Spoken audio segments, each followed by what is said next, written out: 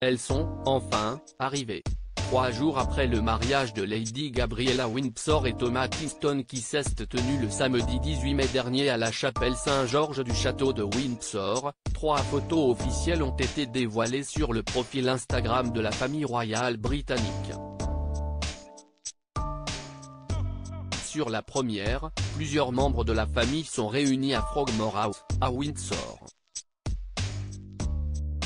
Parmi eux, le prince Michael de Kent, la reine Elisabeth II, ou encore le prince Philippe.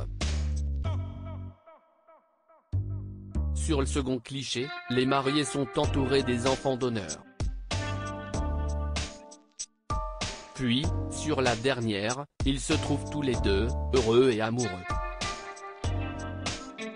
La jeune mariée est vêtue d'une sublime robe de mariée, signée Louisa Beccaria. Cette création est faite d'un corsage blanc ajusté à la taille, sous une dentelle transparente ainsi que des fleurs brodées à la main qui recouvrent toute la longueur de sa robe ainsi que ses longues manches. Si le prince Harry a fait son apparition au mariage de Lady Gabriella Windsor, sans Meghan Markle, malgré la naissance de son fils Archie il y a quelques jours, ce n'est pas le cas de son frère, le prince William, ni de Kate Middleton, qui n'était pas de la partie.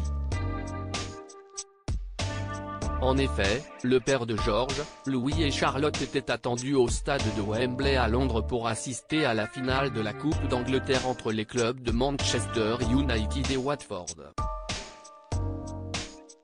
Quant à Kate, elle a préféré profiter de cette journée de samedi auprès de ses enfants. Selon les informations du site Hello, le protocole royal ne l'oblige pas à assister au mariage de Lady Gabriella et Thomas Kingston si sa progéniture n'a pas été choisie parmi les enfants d'honneur.